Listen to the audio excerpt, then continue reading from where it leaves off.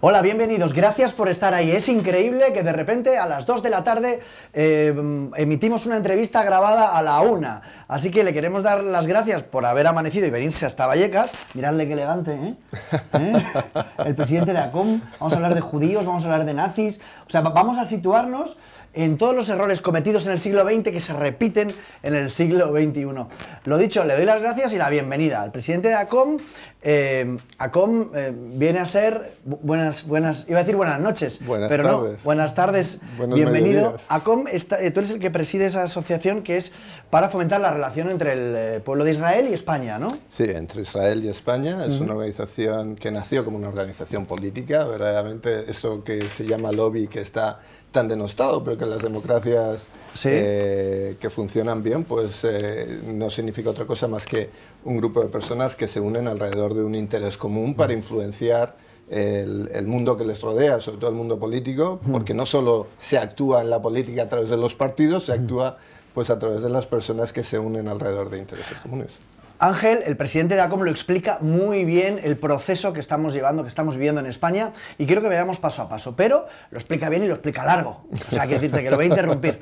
¿eh? Eh, yo le he visto ya muchas entrevistas, entonces me gustaría que me respondieras con un sí o con un no, si después de, de haber masacrado, gasificado, asesinado a 6 millones de judíos el nazismo, existe hoy en día, en el siglo XXI, el antisemitismo. Por supuesto que sí, Existe. existe.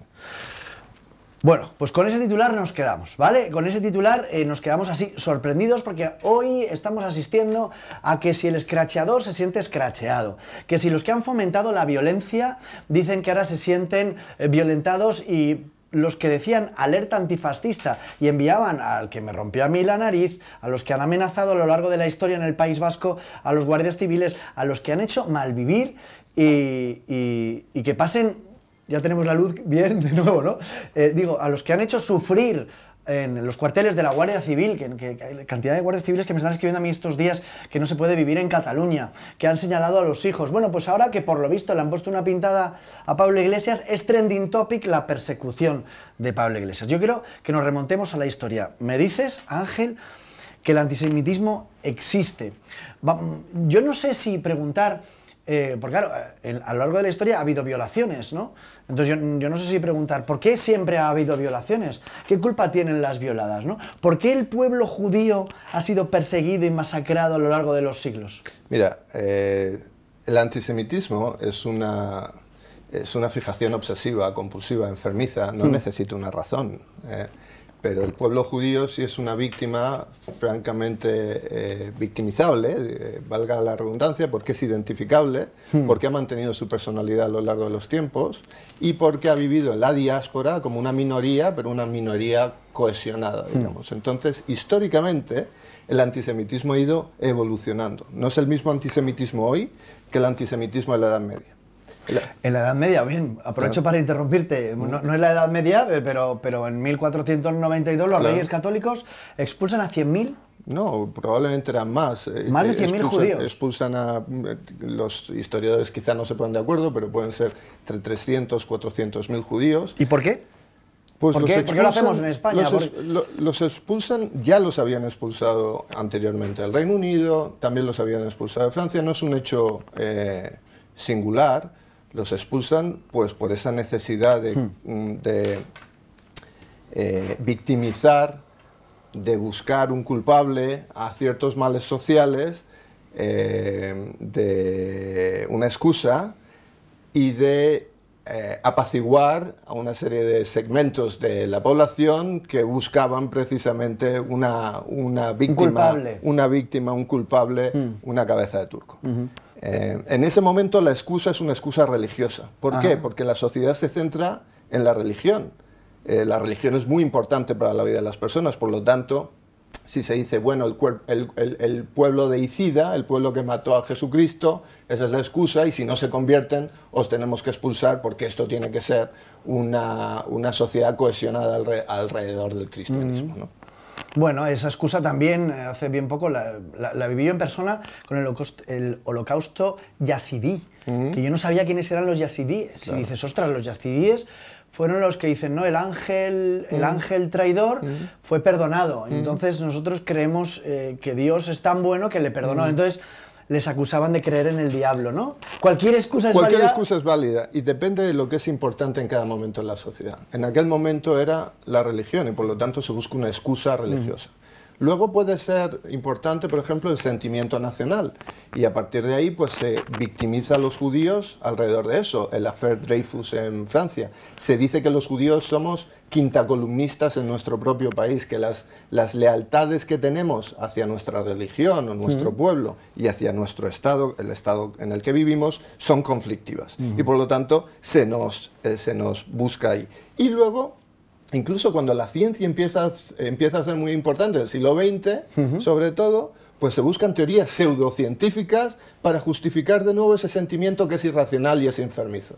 Las, las teorías raciales del Tercer Reich, como ejemplo, se buscaba una excusa pseudocientífica para justificar algo que era irracional y era injustificable. que viene del crack de los años 20 para culpabilizar al judío, que es el que tiene el dinero, entonces como tienen el dinero... Al judío se ju- le culpabilizaba de ser el, el- el- el- el corazón del capitalismo Sí. y a la vez el germen del comunismo.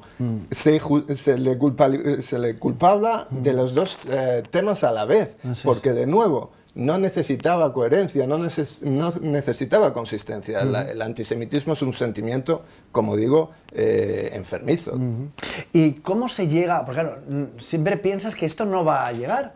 Pero claro, cuando de repente ves que en los cuarteles de Cataluña eh, se señala a los guardias civiles y los profesores les explican a sus hijos que tu padre es malo porque es guardia civil, que se ponen eh, pintadas en los guardias civiles, hemos visto como la banda terrorista ETA ha señalado a gente ya expulsado a 300.000 familias, casi 300.000 familias que no pueden votar, o sea, manipulas el voto.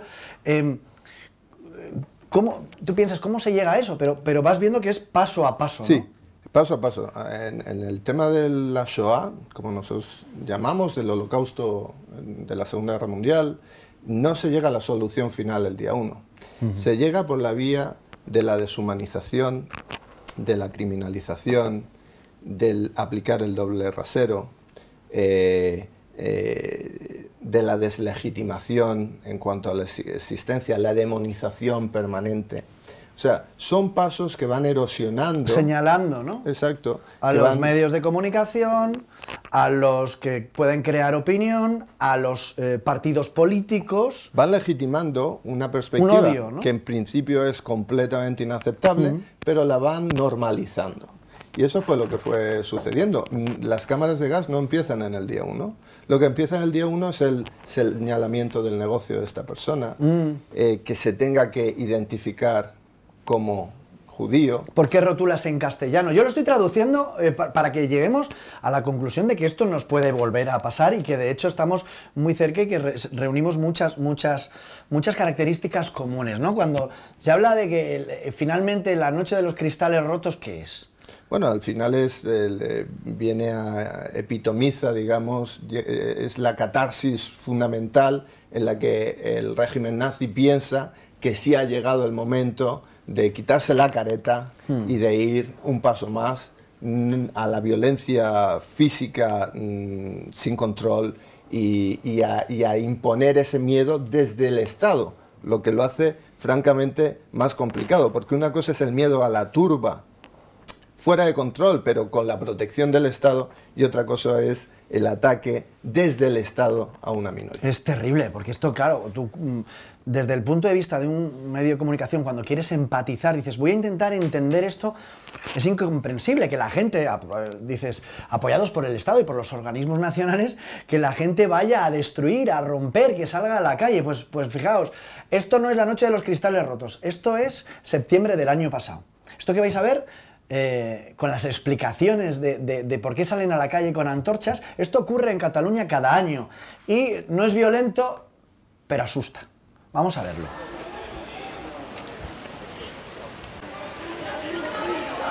Visca, visca, visca, Juventud ¿Qué, qué significado tiene exactamente lo de las antorchas? Aquí anem al posar de les voreres per Eh? commemorar la nostra gent. ¿Para conmemorar qué? La nostra gent que va lluitar per mantenir la independència de Catalunya. Pero, pero para conmemorar qué? que acabas de decir no ha existido nunca en la historia de Cataluña. Bueno, pues esta es las famosas antorchas que estáis viendo por todos los pueblos de Cataluña y hoy aquí en Barcelona con una bandera estelada. Vente, vente, vente, vente. ¿Te, te puedo preguntar? ¿Te puedo preguntar? ¿Qué, qué, qué, cuál es el homenaje? No te puedo preguntar. Pensa que hem d'anar a girar cap aquí a la dreta, ¿vale? Pero ¿por qué no le dejas hablar? Si quiero, quiero preguntarle. Oye, ¿te han sobrado antorchas? Sí, pues te han sobrado un montón porque estaba diluviando, pero ¿qué, qué se conmemora con las antorchas? Girem a la dreta? A la dreta girem, a la dreta. ¿Te prohíben hablar? ¿En, en- en la Cataluña libre te, te dejarán hablar o no? ¿Te puedo preguntar? ¿Te puedo preguntar? ¿Qué, qué, qué, cuál es el homenaje? No te puedo preguntar. Pensa que hem d'anar a girar cap aquí a la dreta, ¿vale? Pero ¿por qué no le dejas hablar? Si quiero, quiero preguntarle. Oye, ¿te han sobrado antorchas? Sí, pues te han sobrado un montón porque estaba diluviando, pero ¿qué, qué se conmemora con las antorchas? Girem a la dreta? A la dreta girem, a la dreta. ¿Te prohíben hablar? ¿En, en- en la Cataluña libre te, te dejarán hablar o no? Cuando habláis de libertad y de democracia y luego, y luego se impiden hablar, tiene que ser duro, ¿no? ¿No? Tiene que ser duro. A mí-!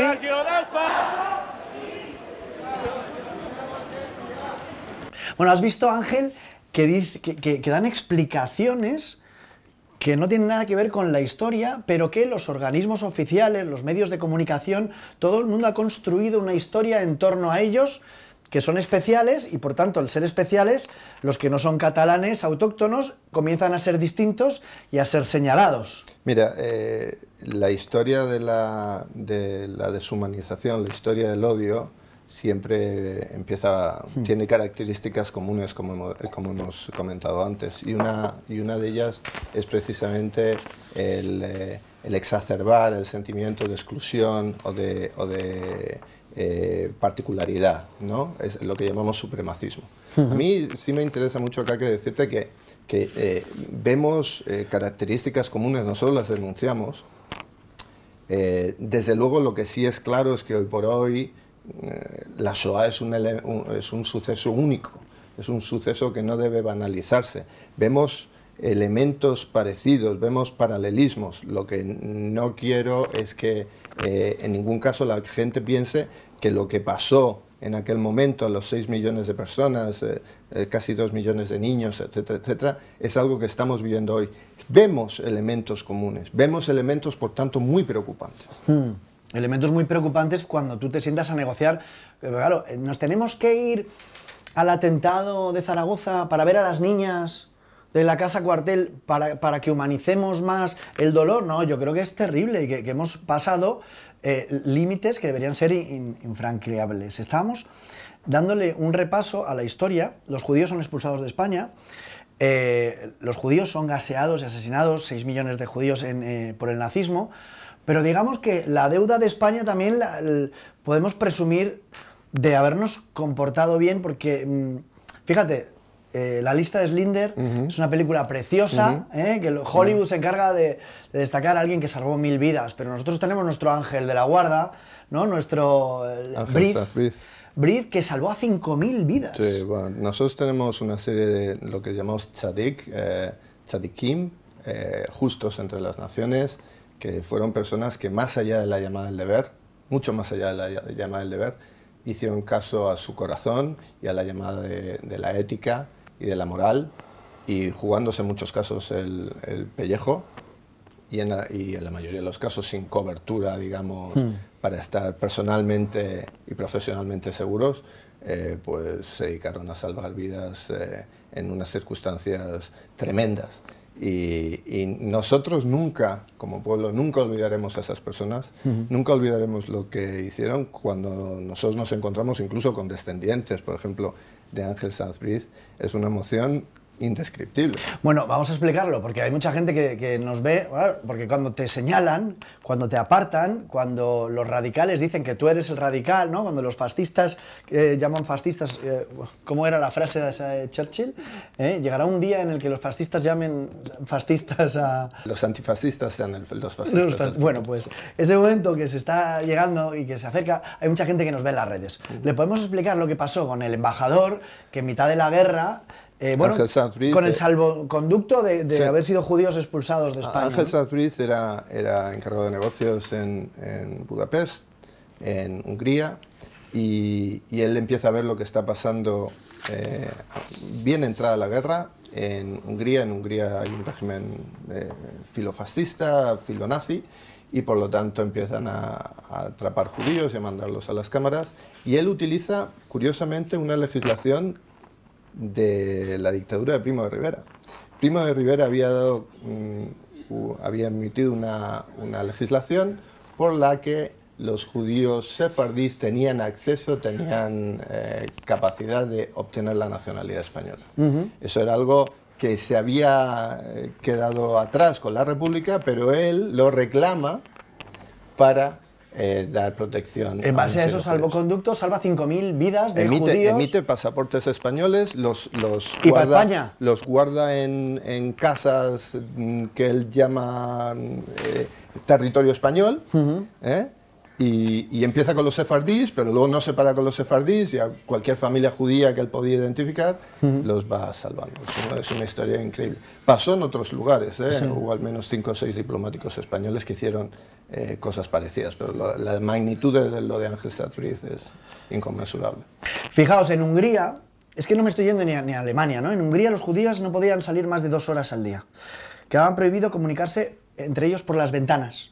Prohibido los judíos, ¿eh? Y en los refugios solo habrá una sala para los judíos separada y para los vecinos preferentemente en lugar seguro. Y bueno, todas estas serán normas que van poco a poco asentándose en, en As- la...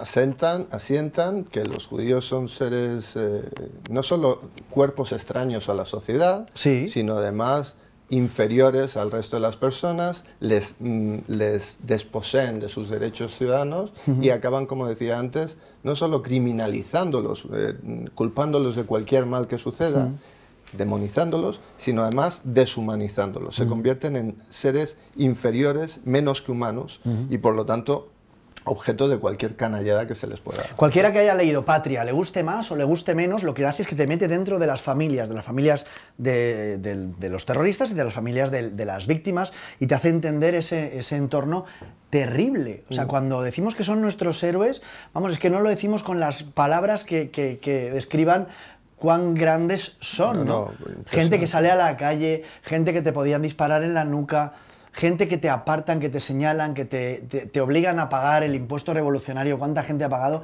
Bueno, eso es eh, lo más cercano que hemos mm, estado de, de- de- de ese holocausto ¿no? en nuestro país, de, de ese holocausto Digamos nazi. de, las primeras fases de eso. Como digo, la Shoah es, un- es una situación única, repetible, que sí, no sí. podemos este, eh, banalizar. Pero es cierto que los elementos de odio, de exclusividad, Hmm. de, re- de- de rechazo, de xenofobia, esos sentimientos eh, nacidos de las tripas, no de la, Hmm. de la cabeza, eh, colectivistas, eh, esos tienen elementos, has mencionado los yazidis, el- el, también el- los armenios su- sufrieron lo mismo a manos de los turcos. eh, es lamentablemente en Ruanda sucedió también, es lamentablemente algo que se sigue que se sigue repitiendo. Lo que fue único en su momento en Alemania es que sucedió en la, en la sociedad probablemente más culta y más desarrollada en aquel momento de Europa. Y lo que tú dices es muy interesante, porque las sociedades libres, o al menos las sociedades eh, desarrolladas hoy, no están libres, no están libres de caer en ese tipo de comportamientos. Y sobre eso es sobre lo que tenemos que llamar la atención. Cuando estamos asistiendo a comportamientos que nos pueden llevar a justificar esto, no es que ya unos tirantes de la bandera de España, a mí me lo justificaban, es que era un facha, ¿no? Es que era, y, y lo han matado por eso, no, es que era un nazi. O sea, vamos a ver, que te maten por llevar unos tirantes, por más que discutas, no es razonable, ¿no?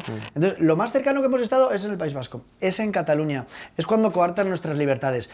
Pero es que si vamos rascando, los gobiernos de Ada Colau, de Carmena, los gobiernos que se proclaman de izquierda, que vienen de Podemos, que digamos que han recibido ayudas de estados como el de Irán, eh, lo primero que hacen es tomar medidas a la contra. O sea, son antisemitas. La, la pregunta es, ¿son antisemitas? ¿Se definen como antisemitas? ¿Qué es un antisemita? Un antisemita es alguien que busca, eh, eh, como te decía, criminalizar, victimizar, deshumanizar a, al judío por el hecho de serlo, por el hecho de pertenecer al pueblo judío. En este caso, como te decía, el antisemitismo va evolucionando, antes lo hemos comentado. ¿Cuál es la nueva, la moderna evolución del antisemitismo? La moderna evolución después de la guerra mundial es que de hablar de los judíos en esos términos es inaceptable. Suena mal, suena demasiado a los nazis. Claro. ¿Qué hacen? Hablan en esos términos, en esos precisos términos en los que se referían los nazis a los judíos, hablan así del judío colectivo. ¿Cuál es el judío colectivo? El judío colectivo es Israel, el Estado hebreo. El Estado que alberga a la mitad de los judíos del mundo y que la otra mitad, los que estamos en la diáspora, la inmensa mayoría, apoya. Y por lo tanto ellos, utilizando la misma retórica, la misma retórica salvaje y las mismas medidas de discriminación y exclusión, ahora ya no dicen aplicarla a los judíos, sino a los judíos que apoyamos a Israel, que somos la inmensa mayoría. Y entonces así se produce lo que tú llamas, eh, que he oído en otras entrevistas, un entramado. Sí. Fíjate que el otro día daba un discurso magnífico, maravilloso, de los medios de comunicación Pablo Casado. Es que la verdad no se respeta. Sí.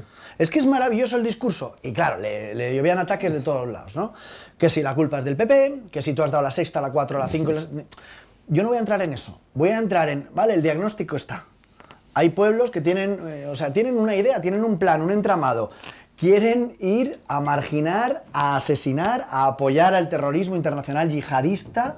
¿eh? Eh, lo apoyan, lo veneran, lo financian. Pero ¿cuál es el plan? La pregunta es, ¿qué hacemos? Mira, lo que nos sucede ahora es que después de que el comunismo cayera, después de que el comunismo perdiera sus, sus, eh, sus argumentos con la caída del muro de Berlín, ellos buscaron una nueva fórmula. Su- la fórmula histórica del comunismo es la confrontación, confrontar lo que ellos llamaban la lucha de clases. Esa lucha de clases ya es obsoleta, ya se demostró obsoleta y por eso cayó el comunismo, porque las clases medias no querían ninguna lucha, querían progresar. Ellos buscan una nueva confrontación por la vía de la interseccionalidad. La interseccionalidad no es otra cosa que tomar a personas que tienen unos intereses muy enfocados, el feminismo radical, el, eh, la interculturalidad, eh, la preocupación por una supuesta islamofobia, el no sé qué, y juntarlos todos buscando la confrontación con un enemigo común. El enemigo común es la sociedad occidental, nuestros valores occidentales. Pero hay puntos de esos valores occidentales que siguen siendo más fácilmente victimizables. Y los judíos, hoy representados por el judío colectivo, que es Israel, sigue siendo ese, ese blanco fácilmente eh, victimizable en el que se van a enfocar. Pero fíjate, se van a enfocar de un modo a veces grotesco. Porque vas a ver, detrás de la misma pancarta, vas a ver a un neonazi con un podemita, a una feminista radical con un tipo con turbante y barba, un yihadista que piensa que es una... y también un gay. Vas a ver a un supuesto pacifista con un tipo que apoya la lucha armada, llamada así, el terrorismo contra víctimas civiles. Ese, ese entramado, esa industria que además pervive y subsiste del subsidio público, es lo que hoy aglutina ese movimiento de odio que te decía que es, eh, es eh, eh, irracional, pero es muy profundo contra los judíos. Y además es un odio que, que alguno dirá, ha dicho un gay. No, no, es que la explicación es que en el mundo árabe, de los que financian estos movimientos, cuelgan a los gays, a los homosexuales. No respetan a la mujer, no respetan la homosexualidad. Pero no solo eso, si es que lo hacen criminalizando al único Estado en miles de kilómetros a la redonda Sí. que da derechos a las mujeres, que por supuesto ha tenido primer ministras, que ha tenido presidentas de- del Tribunal Supremo, eh, eh, que tiene generales que son mujeres, que tiene generales que son gays, que tienen ministros que son gays, precisamente desde esos supuestos posicionamientos progresistas se ataca a la única democracia garantista y se le hace el juego precisamente a la caverna más absoluta, a, a- a los más retrógrados, porque se, ali- eh, se alinean, se, ali- se alían en una, en una, en una eh, en una alianza completamente contranatural. Pero es un entramado muy bien engrasado y mediáticamente, fíjate, entonces que he tenido que venir a Vallecas aquí a hablar, ¿eh? O sea que yo, disidentes, vale, y con orgullo, y luchando por la libertad, pero claro, yo cuando estoy con muchos de mis cámaras que tienen 20 años, me dicen, es que Amancio Ortega, es que Amancio Ortega, fíjate lo que sabes de Amancio Ortega, y sabes que los que le hacen la ropa, y digo, vamos, ¿cuántos empresarios de la industria textil conoces, y por qué solo conoces a Amancio Ortega? O sea que la izquierda maneja muy bien el disparo y dónde va. Lo que te decía de Pablo Iglesias, digo, de Pablo Casado en este caso es, nosotros qué hacemos, o sea, los que defendemos la vida. O sea, cuando veo a Gonzalo Boye, que es antisemita eh, y, y que está en la sexta todos los días, que defiende a los terroristas y defiende a Puigdemont, con esto del lawfare y todas estas cosas, dices, ¿En qué momento eh, somos los perseguidos los que defendemos la vida, la igualdad, la igualdad de la mujer? O sea, el, el- no sé, ¿qué hacemos? O sea, ¿cuál es el plan que tenemos los que no estamos a favor del terrorismo, ni del narcotráfico, ni del... Pues mira, el otro día lo definió Cayetana Álvarez de Toledo como Fíjate. la batalla cultural. La batalla cultural, fíjate, estás nombrando a Cayetana un día después de que se la hayan cargado. Bueno, yo nombro a Cayetana, que es una buena amiga, también Pablo Casado, por supuesto, es un buen amigo de, de Israel y del pueblo judío, como hay muchísimos políticos en España que lo son. Pero sí creo que es muy importante eh, no aceptar la narrativa, el marco referencial de, de las personas que nos imponen, incluso la terminología. Fíjate, antes mencionabas los medios.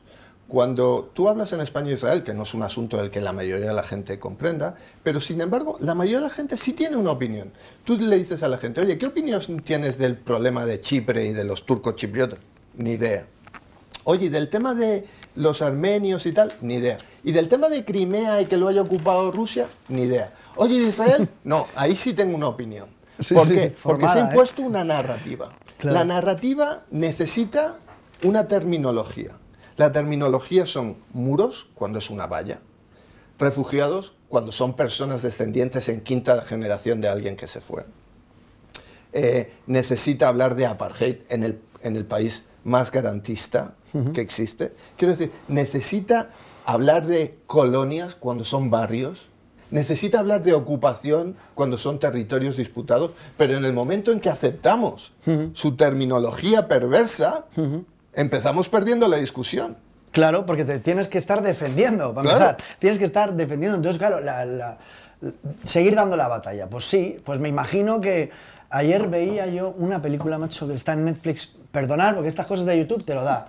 Y era de, de uno que ayudaba a los judíos, pero en realidad no les ayudaba, les estaba traicionando.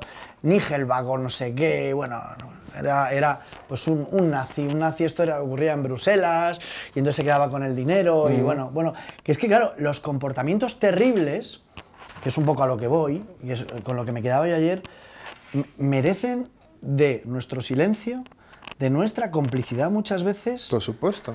y si no damos la batalla, cuando nos queramos dar cuenta, estaremos justificando el que maten a personas por llevar una bandera de España. Mira, la mayoría de, las, de, las, mm, de los supervivientes de la Shoah siempre hablaban de las personas que se mantuvieron calladas, de las personas que se mantuvieron pasivas, de las personas que miraban para otro lado. Eh, si tú ves el, el- el, eh, una de, de los éxitos que no pueden perdonar los antisemitas a los judíos de hoy, al judío moderno de hoy, es que tenga un Estado que se llama Israel, que se defiende, que no necesita a otros para defenderse, que no es el judío manso, que no es el judío vencido, que es el judío eh, que, está, que se equipara a cualquier otro país, no mejor, no peor, simplemente al mismo nivel, pero que se sabe defender. Ese es el judío que ellos detestan. El judío que acepta su papel de ciudadano de segunda, a ese lo toleran, incluso lo ponen de póster. Siempre un antisemita va a necesitar decir, eh, que tengo un amigo judío. Cuando tú ves qué tipo de amigo judío es, es el típico judío que nunca se identifica como judío más que para atacar a Israel y para atacar al resto de los judíos. Sí, esto me me recuerda cuando yo jamás he visto a Pablo Iglesias en una manifestación por las víctimas del terrorismo, ni por las víctimas del yihadismo, ni le he visto derramar una lágrima por las, víctima- las víctimas del, del, del COVID, ¿no? Entonces, eh, dices, al final estos no, no, o sea, realmente es como el... Lo, lo hablábamos, ¿no? Antes de comenzar el programa. A mí, cuando veo la bandera, porque lo primero que haces es ponerte la bandera, ¿no? De, del- de- que te diferencia y que te hace ser superior, ¿no? Cuando veo a Monedero con su bandera aquí, hablando del chavismo, o a Rejón diciendo el chavismo sigue, Hugo Chávez vive, la lucha sigue, al final cuando te diferencias terminas señalando, pero que es muy, es muy importante no callarse, ¿no? Y fíjate, cuando a mí me, cuando a mí me preguntan sobre los antifascistas, eh, eh, ellos se identifican como antifascistas, como luchadores contra los nazis, etc. A mí me surgen siempre dos cuestiones. Uno, ¿con quién estás detrás de la misma pancarta? Si tú estás detrás de la misma pancarta con un yihadista y con un neonazi, a la hora de criminalizar, de buscar la exterminación del Estado de Israel y de sus ciudadanos, no me digas que eres un antinazi porque tienes esas conexiones. Igual que cuando me dicen eh, eh, que ciertos personajes como Boyer, de nuevo, hay personas que se llevan bien con él y a su vez dicen que son pro-Israel, pues perdóname, pero a mí no me cuadra. ¿vale? Eso es lo primero. Lo segundo, las personas que están muy preocupadas por los judíos y simpatizan mucho con ellos en tanto que ya estén muertos. Pero con los vivos, ninguna. Con su seguridad, ninguna. Con su bienestar, ninguno. No, ¿sabes qué? Tú no te- estás preocupado con los judíos, tú estás preocupado con eh, blanquearte tu imagen o con buscar algún tipo de simpatía en la opinión pública, pero desde luego preocupación por los judíos ninguna. Pues es que claro, es que esto nos vale para todo, ¿no? Estamos hablando al final de principios, de valores y con quién te sientas. Yo entiendo que tú puedas compartir el Congreso de los Diputados eh, con EH Bildu, pero no te tomes un café con ellos. O sea, no, no, no, no, la vida y la muerte no, no hay término medio, ¿no? Pero fíjate que esa interseccionalidad al final se cumple, los vas identificando, los vas viendo. ¿Por qué? Fíjate, has mencionado un personaje como Gonzalo Boyer, que a su vez es, a la vez, es eh, abogado de un prófugo de nuestra democracia constitucional como es Puigdemont, es eh, abogado de narcos y a la vez es un tipo que ha buscado de un modo obsesivo y enfermizo atacar a los ciudadanos israelíes en España y de hecho a los judíos en España que apoyamos a Israel. A mí, Gonzalo Boyer, eh, eh, pues ha firmado una querella que, que buscaba básicamente excluirme de la vida social. ¿Por qué? Pues porque ellos utilizan las mismas armas que siempre utilizaron los fascistas, utilizar nuestra democracia, nuestras garantías, nuestras libertades precisamente para erosionarlas, para, para dinamitarlas desde dentro. Una vez que eso ya lo consigan, ahí se acabaron las, las garantías. Claro, para señalarte, para decir Leopoldo López a la cárcel, eh, eh, Capriles a la cárcel, que era lo que aconsejaba La intimidación, Monedero, la incitación, la coacción. Y los medios de comunicación, yo empecé a conocerles, porque claro, al final te haces un estudioso de Venezuela cuando has ido tantas veces y dices, es que los pasos son los mismos, y cuando ya, eh, ya el colmo, eh, es que el que, eh, iba a decir el que riega las plantas de Galapagar, pero el que va de visita, el amigo, el asesor y el que está en el gobierno, no nos olvidemos que viene del comunismo y viene de negociar con las FARC. No, no, por supuesto.